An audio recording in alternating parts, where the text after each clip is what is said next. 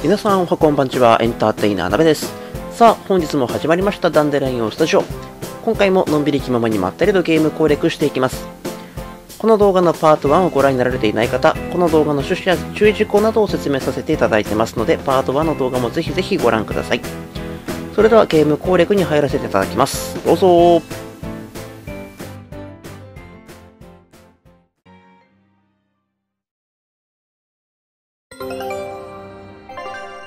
はい。テイルズ・オブ・ベルセリア実況プレイのパート79やっていきます。まずは異界探索。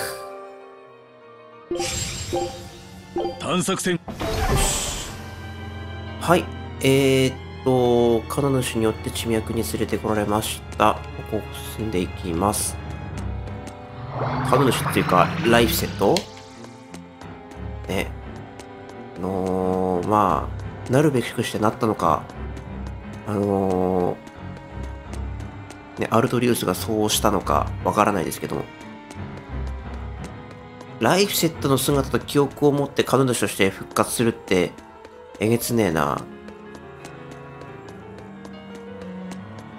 でも、彼女が大地を司るような天族なのであ、天族じゃねえや、精霊だというのであれば、あのー、その地上の、何、出来事、記憶はすべて知ってるわけだから、ね。それで、えー、ライフセットの真似をすることぐらいはたやすいかもしれないけれど。あ、くそ。話にならない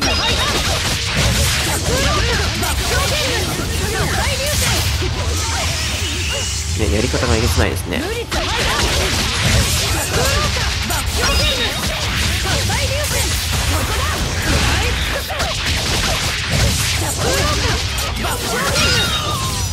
よしよし。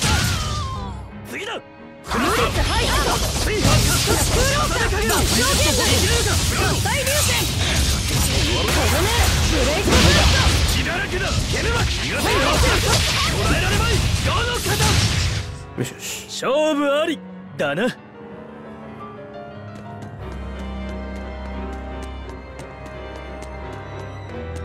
完全にね、ベルベットももうね、完全にぶっ壊れちゃってますからね。危なっかしくて仕方がない。これではね、本当に魔王になってしまう。アルトリウスとセリカさんのことって今までベルベットが知らなかったことだよね多分な慣れ初めや二人きりの思い出のようだったからな見たのは温かい家族の風景ばかりなのにすごく嫌な気分になった私もですこれを見せているカ主の狙いをはっきり感じました。ベルベットの心を逆なでするためだな。ベルベットはアルトリウス様のことが心から好きだったのだと思います。幸せだった過去と変わってしまった今を同時に突きつけられることがどんなに苦しいか。そうだろうな。ゴーマの俺には分からんがベルベットの境遇は過酷すぎて人間の私も想像するしかありませんよでも少しはわかる気がするんです。私もベルベットと同じあの方の教え子だから。アルトリウスはカノ主の学生には2つの質の汚れが必要だと言った。アバルの幻覚。監獄島討伐の情報漏洩。そして弟の姿そのままのカノ主の登場。全部それを手に入れるための仕込みだったとすれば腹をくくる必要がありそうだなうん。なんとなくプツプツしてるんで、ちょっとリセットします。はい。やっていきます。まあ、もうこの最、ここ最近こう、度重なるベルベットに対するこの罠の張り方というか、この力の使い方は本当にね、胸くそ悪いと言ったら、あれしないですね。今度は何を見てる気だ？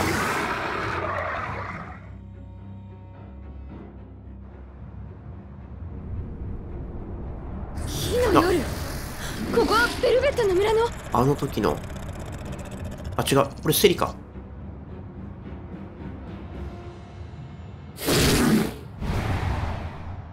そごまかした野党がこんなにセリカ今助ける。無理よ。ベルベットたちと逃げて。バカを言うな。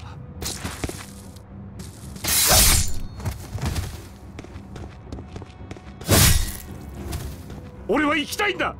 君と俺たちの子と一緒に。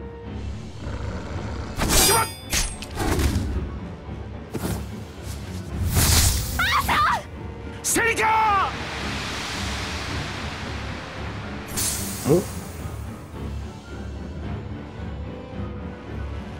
何かに食われた？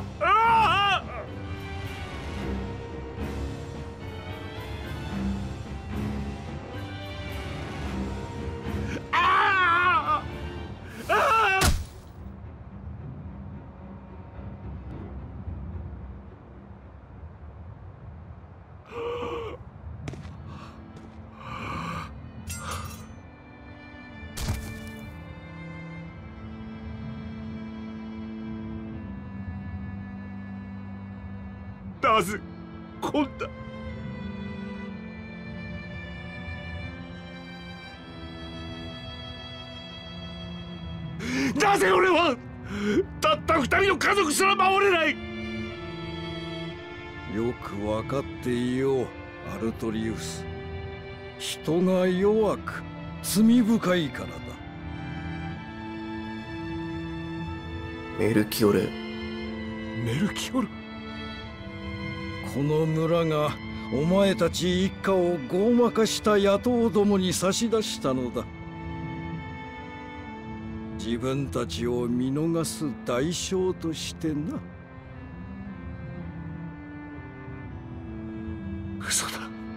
そんな。よくあることだ。人間が背負った業の断りは変えられん。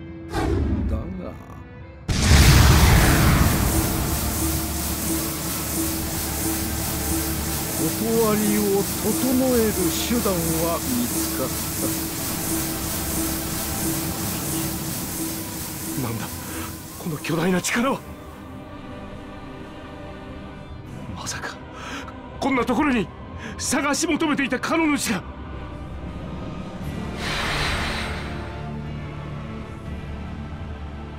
ここの精霊は。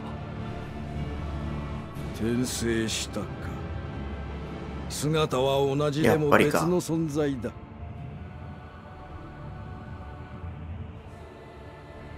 ああそういうこと？なぜだ？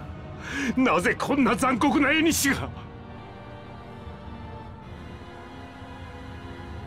どうやらカノ主の復活は不完全のようだ。その原因を明らかにし生死を導かねばなるまいこの精霊どもはもらっていくぞ。待て！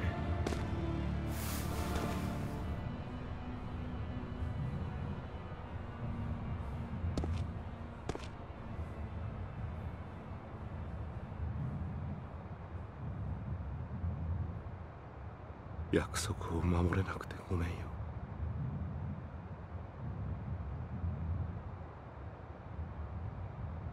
償いはする。今から俺は俺を捨てる。名もなき精霊よ。契約を交わしてもらうぞ。私は世界の痛みを止めなければならないのだ。できるのか？我が友の理想を投げ捨てて逃げた貴様に。亡き死と妻子の魂にかけて今度こそ成し遂げる。我が名はアルトリウス・コールブランド。先代筆頭大魔師フローディン・アスガードの意志と力を継ぐ者だ。よかろう。今宵の悲劇を旧世の祝宴に変えてみせろ。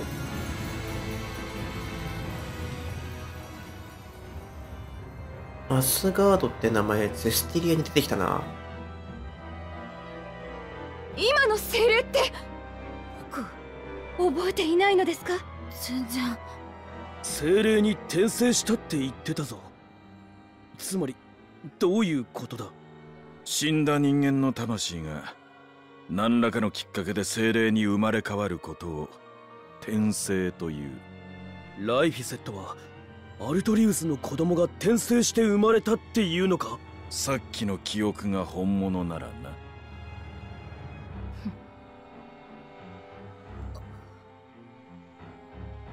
じゃあ一緒に生まれた女性の精霊は？私の姉の転生ってことね。もうとっくに食らったけど。シェアリーズな？知らなかったからでしょ。知ってたわ。私はシアリーズの正体に気づいてた。ベルベット。けど関係ない。だったら何？目的のためには何だって食らう。姉さんだって弟だって世界だって。それが私なのよ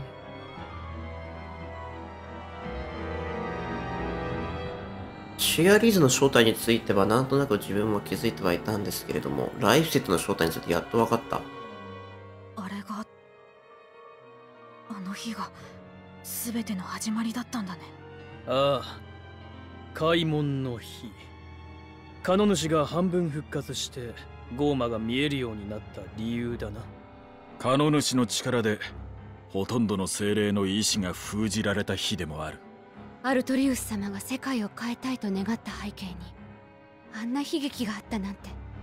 村の人たちが野党にアルトリウス様たちを差し出したりしなければ。確かにひどいが珍しい話でもない。人間必要とあれば何でも切り捨てるものさ。集団のためっていう大義名分があればなおさらな。あの夜のことも多分ベルベットの一家が村の輪の一番外にいたってだけなんだろう。そんな身勝手な理由で。人間はそういう身勝手な生き物だとお前も分かっているはずだ。だから今無意識に口にしたんじゃないのか？アルトリウスの願いは人間を救うことではなく世界を変えることだと。それは？お前を責めてるわけじゃない。ただの事実だ。あの夜の最大の悲劇は世界を変える力を持った男が人間の限界を見限ったことなのかもしれんな。救世主アルトリウスは人間に絶望したってこと？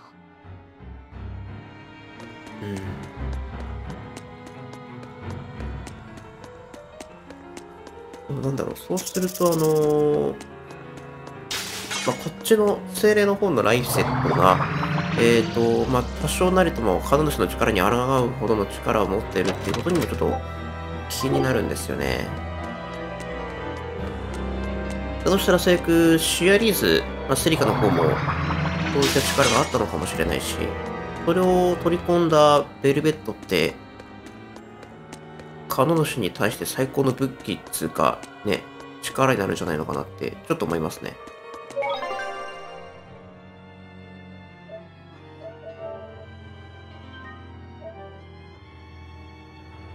それにあの、このゲームを始めたばかりの頃の冒頭でね、なんか、不思議なシーンがあったんですけど、それについてまだちょっとわよくわかってないんですよね。あ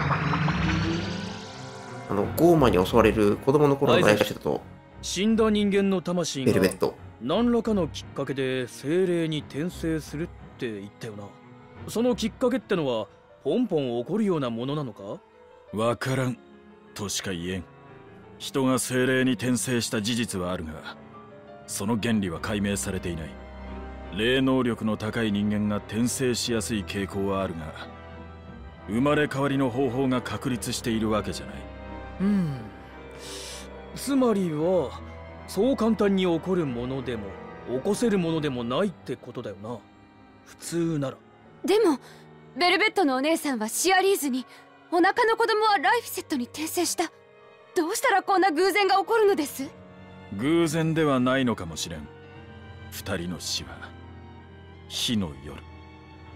カノ主の生贄儀式に絡んで起こったものだからな。つまりカノ主の意志が関わっていると。あくまで状況からの推測だ。いかに聖主とはいえ人や精霊の生死を自由に操れはしないはずだ。偶然じゃなくて因縁なのかもしれないぜ。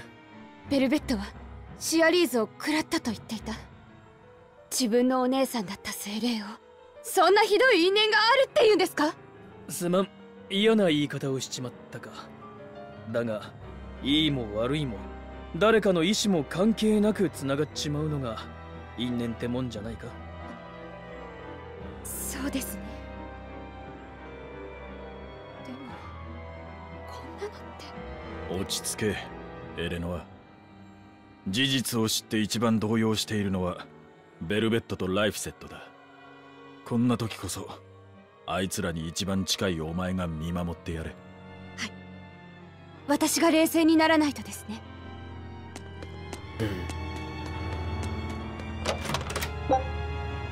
ってことはやっぱりあれなのかな？あのー、あの儀式の時にあの儀式のとこに放り込まれた弟のライフセットがやっぱ神主として転生したっていうことになっちゃうのかな。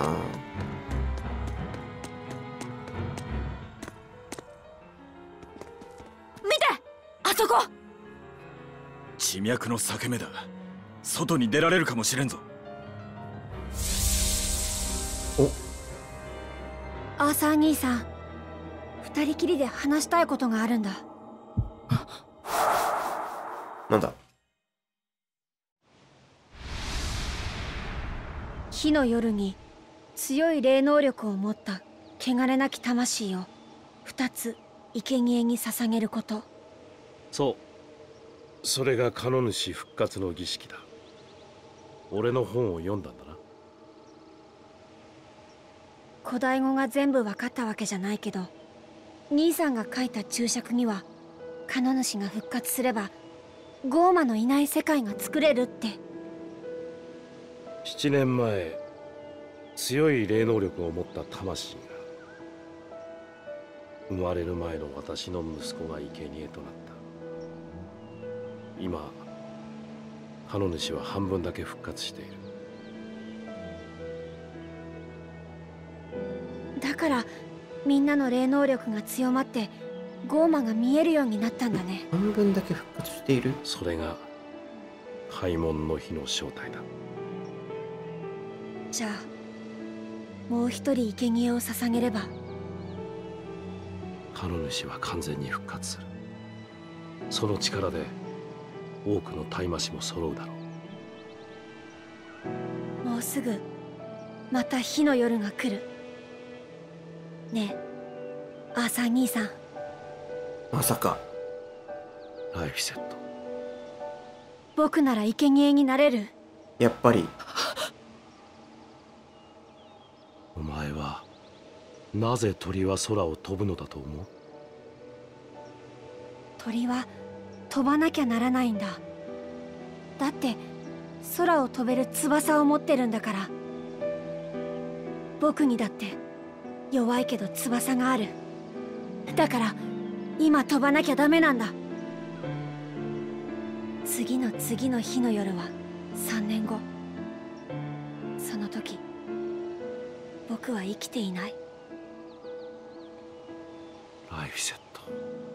お前は？12歳病。それが僕の病気だから。やはり知っていたんだな病気は怖くない。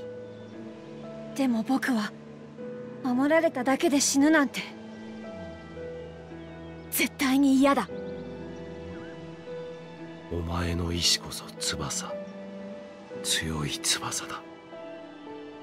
ふざけるな。このことはお姉ちゃんには黙っててね。約束だ僕が作るよ。お姉ちゃんが幸せになれる世界を。溶けた。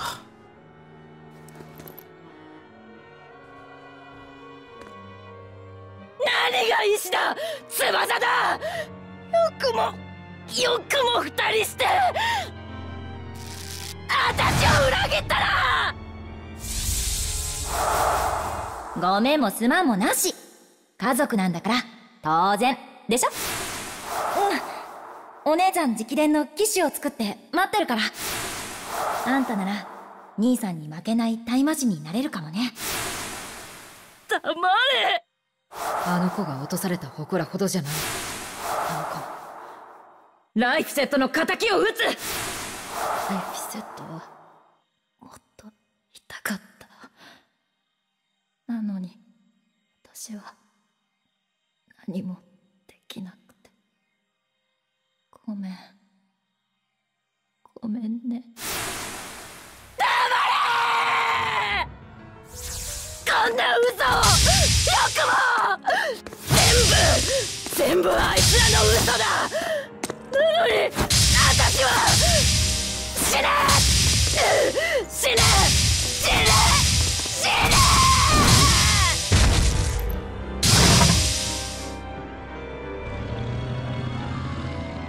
邪魔するな醜い化け物が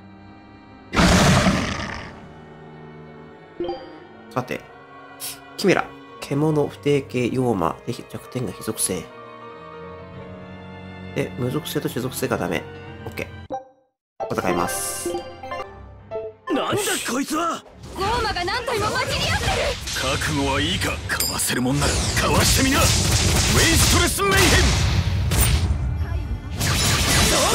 つむじ月かよし。豪華絢爛よし。もらえれば大流星つむじ月か逃がすかよ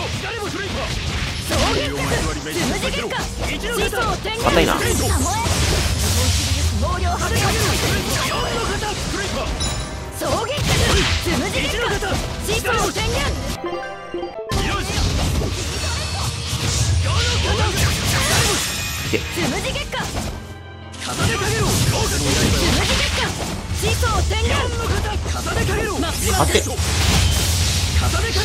合体流星痛みを忘れて六の方五のつむじ月か魔王演劇派衝撃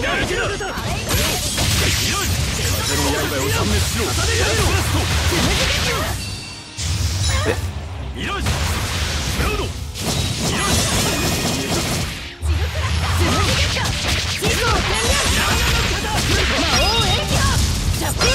合体流星しだれ星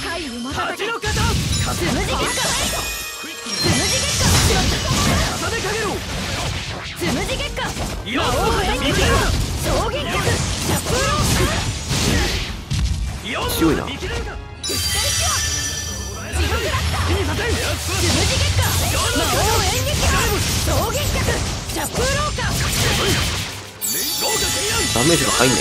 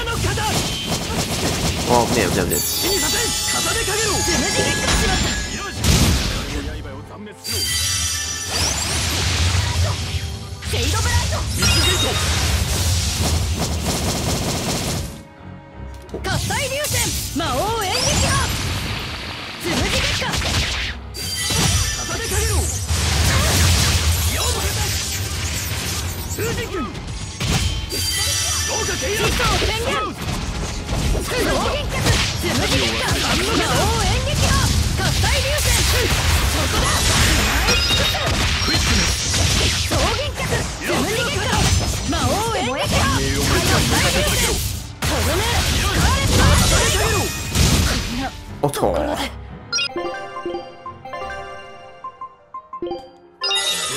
屈辱